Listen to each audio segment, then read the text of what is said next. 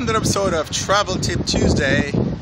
This is Kerwin with CruisingAltitude.com. And today I'm going to take you on a tour of the Ontario wine country. Right now we're at Henry of Pelham's Vineyard and they're in the Niagara area. And let's just go talk to, uh, let's go, just go listen to Matthew, Matthew Speck his family has been running this business, I guess, since about 1800s. And let's just go hear what he has to say.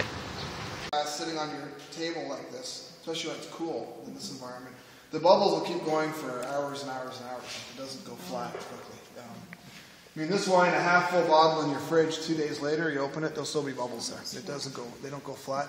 And that's because over time, part of that sparkling process, the wine sitting in the bottle for years and years, the bubbles just become very, very integrated into the into the wine itself. So it's a it's a process that can only happen with time.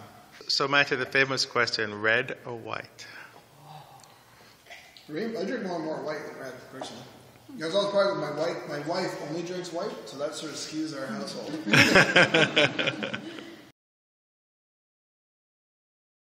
what happens if I dribble? Because I always do.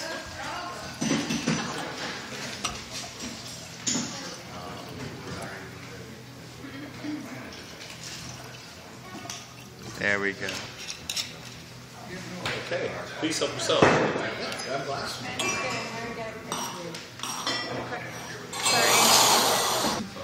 This little place has grown up with with myself and Matt. Um, ten years, far, far longer than I care to admit.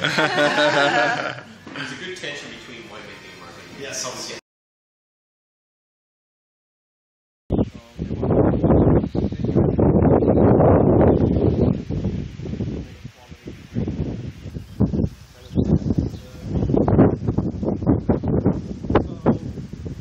And he said, honey, one of these days we're going to have a winery and meadery. And uh, 20, 20, 20, more or less 25 years later, they, they bought this land, and, uh, and the rest is pretty much history. They kept working with the bees, and they planted all these vines, and they combined the, the mead making or the honey uh, production uh, with the wine, and they started to make the meads as well. Different coopers, because every cooper kind of adds something unique to the wine. Um, kind of perhaps lighter coopers for Pinots Perfect. and Chardonnays, and uh, heavier uh, toasty oak uh, for Merlot in the front, or maybe like a Bordeaux varietal, uh, like even Cabernet Sauvignon. Um, we also have bigger barrels, so there, most of the barrels are 225 liters, but we also have puncheons here, 500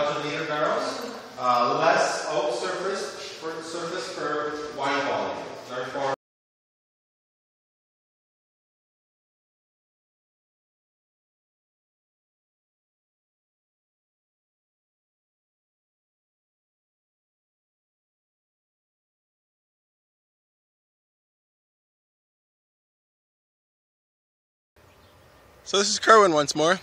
So how'd you like it? A fantastic tour of the Ontario wine area. Behind me is what I think is probably one of the best places I've ever seen. It's a Victorian home at the Peninsula Ridge, which is also in the Ontario wine country. So this is Kerwin with CruisingAltitude.com at Peninsula Ridge closing out our wine tour. Have a great trip.